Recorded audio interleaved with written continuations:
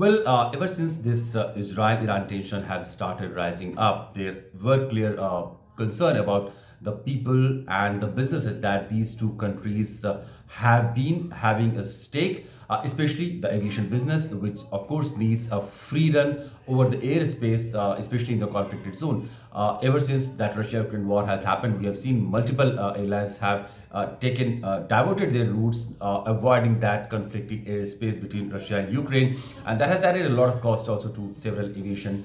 company around the world. Now with the Israel and Iran, you know, gearing up for an upcoming full-scale military fight, at least that is what it seems if we go on with the kind of statement that is being made by both military leaders and the political leaders in Iran and Israel, it looks like a tension, uh, a full-scale uh, tension is very imminent and there could be firing and launching of missiles and drones and other aviation uh, you know stuff. Uh, and to avoid any loss several airlines across the world have started avoiding that uh, avoiding that route uh, Qantas Air has uh, diverted its flights to avoid Iranian airspace and the Netherlands has also closed its embassies in Iran. Qantas Airlines has directed air services will be diverted via Singapore and uh, that is especially in the fear of Iran-Israel war. Air France has also, uh, you know, uh, avoided that Iran-Israel airspace. We have seen several countries including Russia, UK,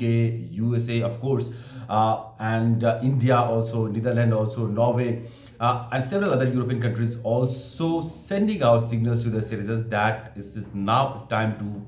exercise extra caution and keep yourself safe because of the escalating tension between the two sides. India had, uh, Indian Ministry of External Affairs had yesterday released a statement saying that the, they should, the Indians should avoid traveling to Israel and Iran in the wake of escalating tension. Those who are already there, they should get themselves registered with the nearest embassy or mission. And also those who are working there, they should avoid going out, especially in the uh, unsafe zone and they should take utmost care of their safety and uh, uh, everything else that could keep them safe. Uh, registering with the embassies, of course, help embassies to create a plan in case of emergency evacuation. Uh, so far, there has not been an announcement by the Indian government whether there will be any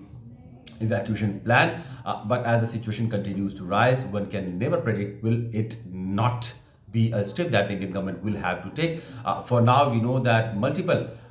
you know, threat that has started coming in from both the side Iranian side and Israeli side, uh, that kinds of suggests that the two sides are not backing down. They are preparing for a war, at least a conflict. Whether this conflict will be a limited uh, or isolated in some zones or it will have use of Iranian ballistic missiles and then of course the retaliation from the Israeli side as well. That remains to be seen because if that level of conflict starts, of course other countries present in the region will also dragged into war uh, we have seen USA sending additional uh, naval capacity in that region to create a deterrence against Iran and its upcoming threat or possible military attack on Israel. Uh, Israel has been supported by several uh, European countries as well in the past, but will that be enough to deter Iran in order to take possible action against Israel? And especially this entire escalation has happened in the wake of Israeli airstrike in Damascus, which killed seven of senior Iranian uh, military officials. and that also includes Quds Forces deputy, uh, vice uh, guard of the deputy of the Quds Forces. Uh, earlier, the supremo of Quds Forces, uh, we have seen General Soleimani, Qasem Soleimani was killed by an American attack that was also aided by Irani, uh, by Israeli intelligence. But this time, uh, this was entirely Israeli intelligence Israeli input and the action was also taken by Israeli side. So far the USA has said that they have not given a green signal but Iran of course says that it was only after USA signaled Iran a go ahead then Israel uh, went ahead and did that attack. So clearly USA is a complicit as much responsible as much Israel is. Iran has also sent messages through various of uh, the background channels that in case USA comes to rescue and support or aid Israel